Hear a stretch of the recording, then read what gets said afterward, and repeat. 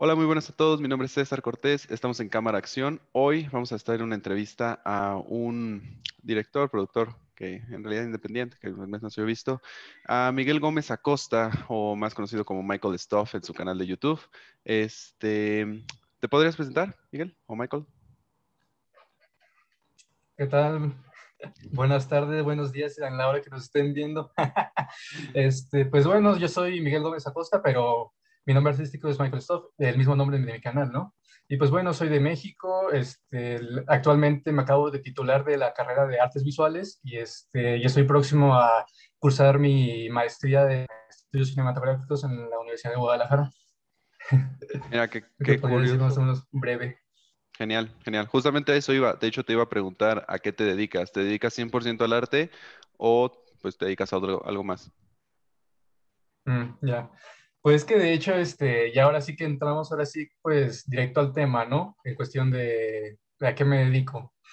Pues en sí, por toda la carrera que pues estuve cursando estos últimos tres años, por así decirlo, pues fue completamente al arte, ¿no? Artes visuales. Sin embargo, esta carrera pues no simplemente se enfoca en cuestión de lo plástico, ¿no? Ya sea como pintura, escultura, etcétera, ¿no?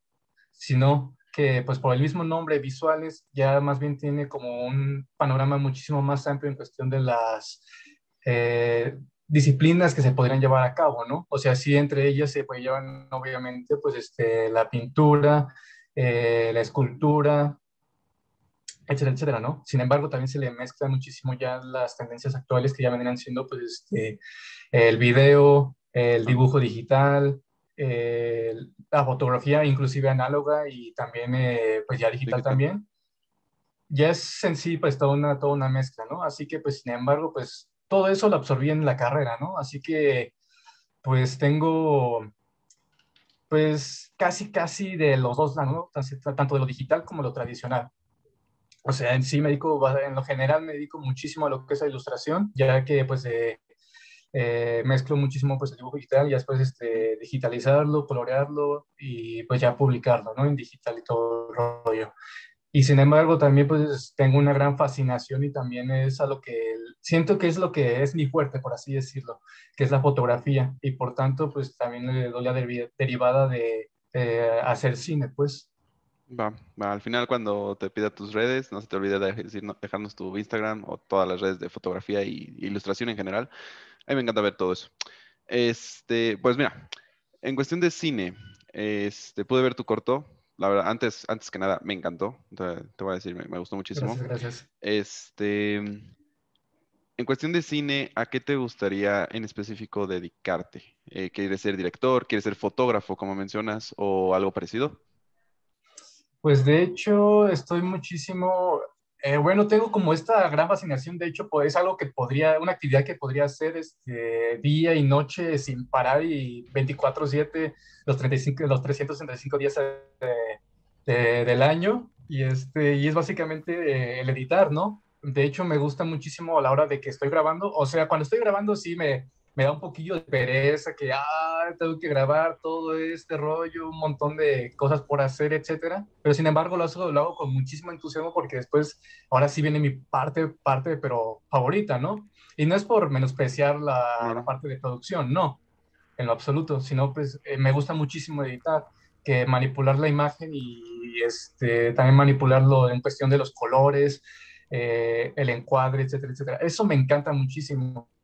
Así que pues realmente estoy aspirando muchísimo a ser editor de, imagen en cuestión, bueno, editor de, fotografía en cuestión de lo cinematográfico, ¿no? Sin embargo, también estoy aspirando muchísimo pues a lo que es el director de fotografía y el director en general, ¿no? Claro. Son tal vez un poquillo más, eh, ¿cómo decirlo? Un poco más eh, diferentes el tipo de papel, pero sin embargo también me siento como, siento una gran inspiración, una gran inspiración a, a llegar a esa realización, ¿sabes? Claro, entiendo por completo. Mira, esta pregunta no la tenía planeada para nada, pero eh, lo pude notar en tu corto. Tiene una muy buena edición de color.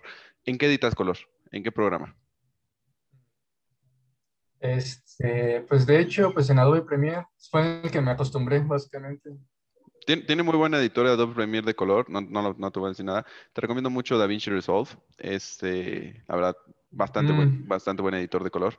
Pero bueno, esa fue solo porque me vino ahorita a la mente. A mí me encanta editar igual que ti, no te lo voy a negar. Este, pues mira, entramos más a tu corto. El, corto del que específicamente ya, si ya lo vieron en el tema, es este eh, Tierra de Nadie.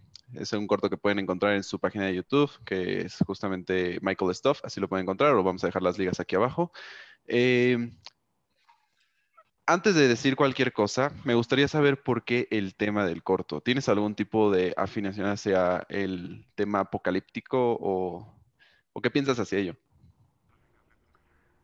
Pues que de hecho es una pregunta bastante interesante, ¿sabes? Porque en sí muchísimo, bueno, muchísimo de mi trabajo en sí, tanto de ilustración como de video, se basa muchísimo en la acción, ¿no? Me gusta muchísimo ese género en particular.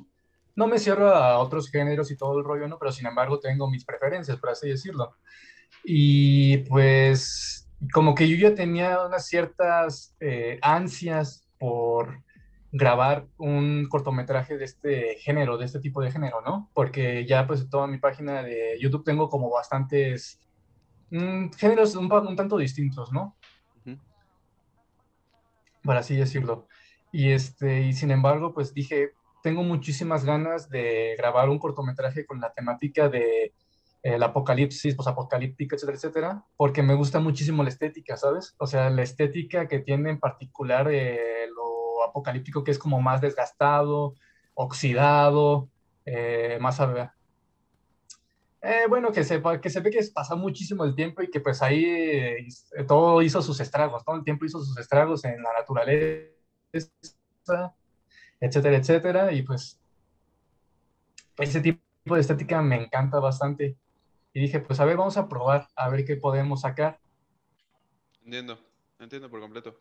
Y mira, Ah, dejan, bueno, siguiendo con la línea, en cuanto al tema de producción, eh, yo al menos en lo que vi del corto logro ver escenarios bastante, pues como dices, ¿no? Este, como perdidos hasta cierto punto, como olvidados. Este, ¿Te costó mucho trabajo encontrar este tipo de escenarios o este tipo de utilería en, en sentido de producción?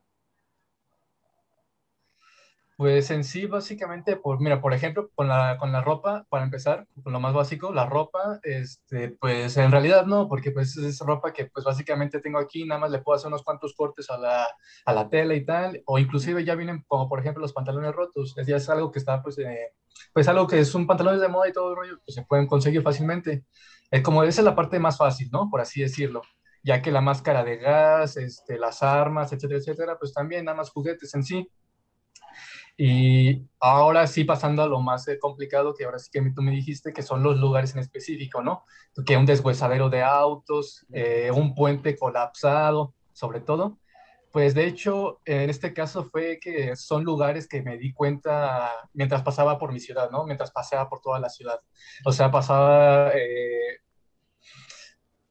por un, por un, por decirse que a unos cuantos kilómetros de mi casa, pues está un ranchito, ¿no?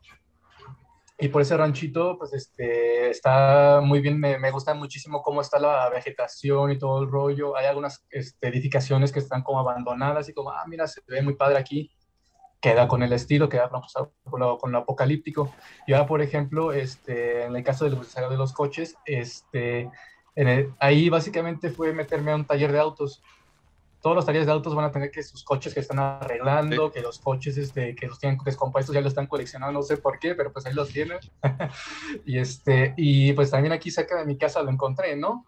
Ya nada fue cuestión de decirle pues al dueño, no, pues qué tal, eh, estoy grabando un cortometraje, me da chance de aquí grabar unas condiciones. Ah, Simón, pásale, no pasa nada, tú dale. Y, este, y luego, por ejemplo, el puente colapsado, pues ya ese es un poquillo más eh, específico, ¿no? Por así decirlo porque era una estructura que ya se había retirado aquí en, en, mi ciudad, en San Miguel de Allende. O sea, pues están en constante renovación que los puentes, eh, que las estructuras para fortalecerlas y todo el rollo, o algunos puentes que ya inclusive los, vamos a quitar estos de aquí, vamos a quitar estos puentes de aquí y vamos a poner otra cosa, ¿no?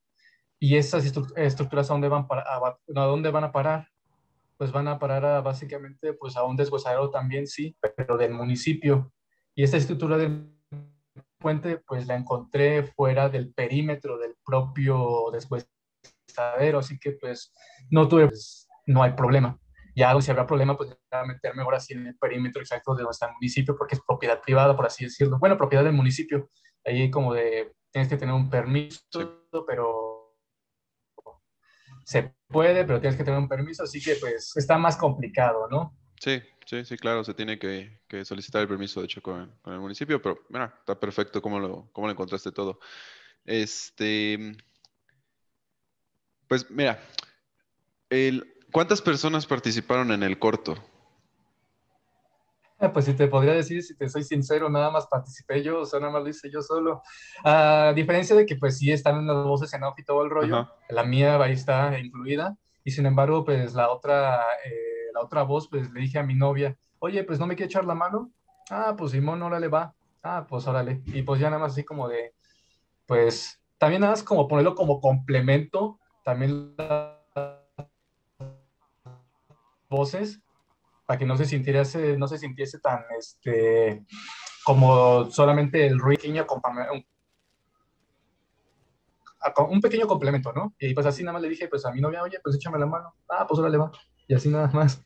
Wow, pero, pero tú pusiste la cámara y, tú la dejaste ahí mientras grababas, tú fuiste el actor, todo. Qué, qué genial. la verdad, sí.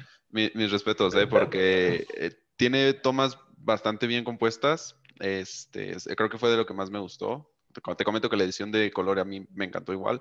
Este, ah, y justamente para seguir con el tema, ¿qué tan complicado, al menos para ti, o fue el hecho de grabar con una máscara y completamente tapado? En realidad casi no se ve pues una facción, o sea, sí se ve que es un humano, pero no se ve que es una, no se ven expresiones, ¿no? Es completamente corporal. ¿Qué tan complicado es eso? Mm, pues de hecho, pues sí es bastante incómodo, ¿sabes? O sea, porque en sí la máscara de gas, pues sí es funcional, o sea, sí, sí sirve para, para utilizar en cuestión de, no, pues que si estás en, en medio de de que será de un ataque nuclear, un ataque químico, no sé, pues funciona, ¿no? Son máscaras que se consiguen fácilmente en internet. Sin embargo, lo que sí te puedo decir es que pues me costó un montón de trabajo acostumbrarme porque sí se restringe muchísimo el paso del aire. Y fue como de algunas escenas donde tenía que estar caminando o donde tenía que estar moviéndome pues este mucho, sea de y pues apenas si me entraba el aire fue como de no manches, me estoy sofocando. Así que pues sí tenía que practicar de vez en cuando, pues ponerme la máscara de gas y acostumbrarme a, a respirar, ¿no? A hacerla como parte de mí, por así decirlo. Ahora en cuestión de que pues también llevaba la ropa, que la mochila y todo el rollo, pues sí, también era peso extra y se sentía incómodo. A la hora, también sin embargo, a la hora de acomodar la cámara sobre todo, porque era como, ok, tengo, nada más me llevaba mi tripí y la cámara. Pues a ver, esa la pongo. Era como de no sé cómo me voy a ver ahí, no sé si va a salir bien enfocado, a ver si salgo bien enfocado, voy a poner como una, ah, voy a poner ahí mi mochila, voy a tratar de enfocar la mochila, a ver qué tal resulta y pues ya después hacía la toma, eh, veía el resultado y dije, ok, salgo bien, perfecto, me gusta, se queda, ¿no? Pero sí era bastante complicado y sobre todo eh, yo siento que es un tema que pues a todos nos concierne, sobre todo a los que pues grabamos solos, ¿no? Por así decirlo. Que, y sobre todo cuando es en vía pública o, bueno, sí, en vía pública, que es decir, la inseguridad, ¿no? Te sentiste inseguro, estaba solo completamente, pasaba gente, ¿cómo, te, ¿cómo te hacía sentir?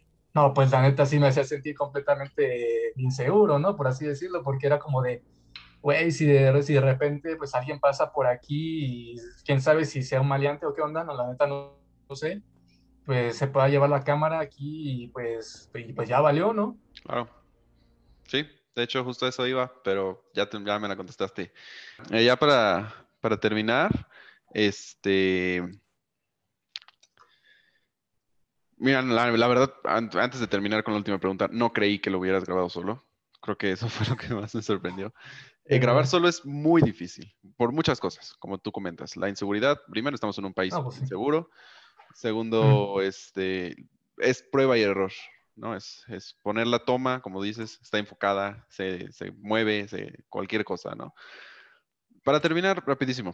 Em, ¿Cuál fue o, qué es lo que estaba buscando el personaje?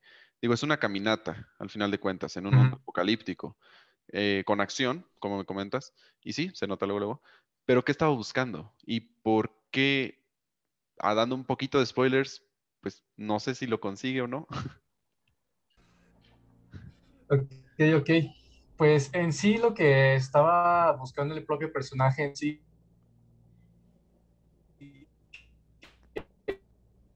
pues en este caso era yo que lo estaba interpretando, propia supervivencia, ¿no? Y en este caso, pues, como son, bueno, es un cortometraje que me gustaría, pues, hacer muchísimo más grande, ¿no? Así que, pues, como que hay algunos huecos que se podrían eh, mejorar, o, bueno, ciertos agujeros de guion que se podrían mejorar ya para ahora sí, después hacer un cortometraje muchísimo mejor. En este caso, como estaba solo, pues, nada más me quedó como esa, esa cuestión, ¿no? Sin embargo, no es justificación para decir que, pues, tal vez hay algunos agujeros y tal, ¿no? Sin embargo, este, lo que buscaba en sí el personaje era su propia supervivencia y también de que, a como lo tengo planteado yo para futuro, o sea, ya como un más